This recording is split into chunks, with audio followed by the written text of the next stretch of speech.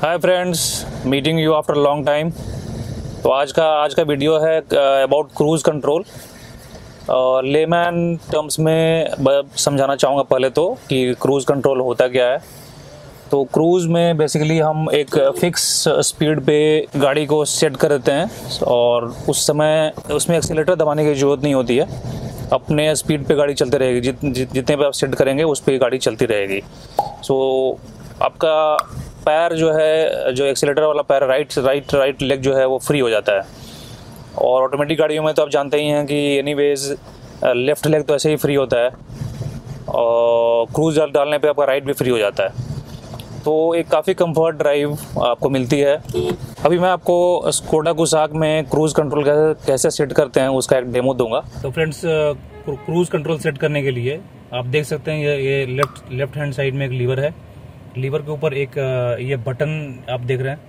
इस बटन को ऑन करना होता है। अभी ये ऑफ़ पोजीशन में है। जब ऑफ़ रहता है तो आप किलोमीटर का सिचुएशन अब यहाँ पे यहाँ पे जो डिस्प्ले है वहाँ पे ऐसा आता है। तो किलोमीटर और ट्रिप और ये सब दिखता है।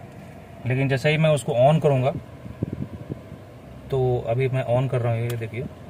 तो ऑन करने के बाद क्रूज कंट्रोल का अ, एक डिस्प्ले स्टार्ट हो जाता है kilometre per hour so it means that your cruise control system is on now अब अब सेट करने के लिए आप लीवर में देख सकते हैं एक ऊपर दोनों, दो जगह प्रेस करने का है। One is resume and plus यहाँ से किलोमीटर की किलोमीटर बढ़ेगी स्पीड बढ़ेगी और रिज्यूम होगी।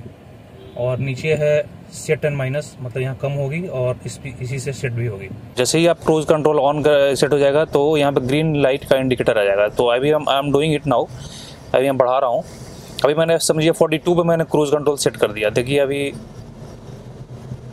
गाड़ी 42 को स्पीड को टच करेगी और फिर कांस्टेंट हो जाएगी। तो इस समय मैं अभी कोई एक्सीटर नहीं दे रहा हूँ। गाड़ी अपने आप चल रही है। I am only controlling steering अभी मैं जैसे ही इस पर ब्रेक लगाऊँगा तो क्रूज निकल जाएगा। तो वापस से क्रूज सेट कर, सेट करने के लिए मुझे यही बटन बटन वापस दबाना है प्लस वाला। इट्स वेरी इजी कोई बड़ी बात नहीं है। एक बार जब आप कर लेंगे तो फिर आपको बहुत ही इजी लगेगा।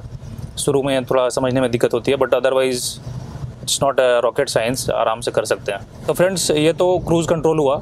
क्रूज़ कंट्रोल हम काफ़ी समय से देखते आ रहे हैं और जानते हैं बहुत लोग इसको यूज़ भी करते हैं।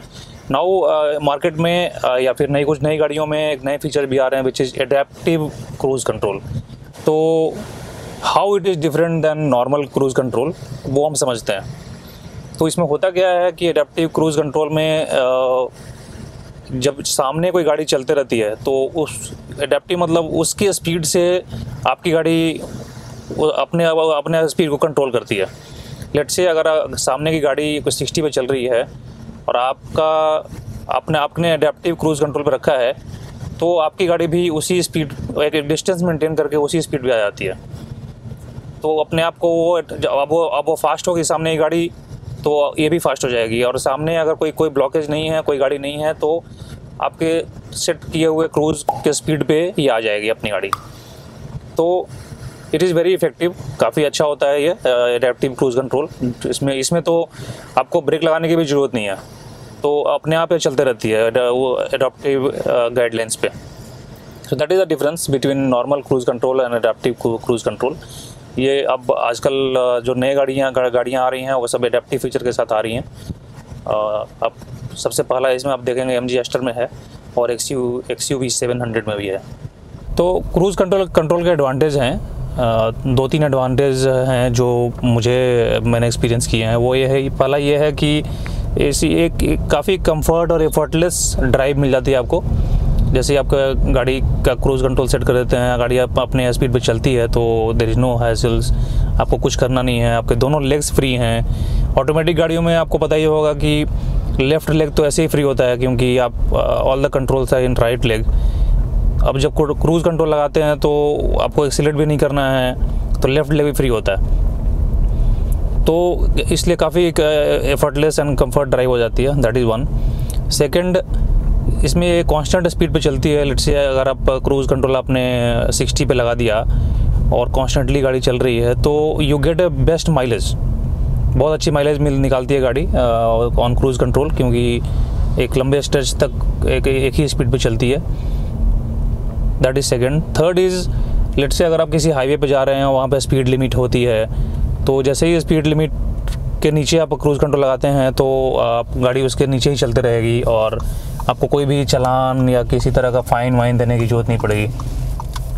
So they this three very important advantages of cruise control which have experience इसके साथ साथ ये ये लिमिटेशंस भी हैं, एक दो।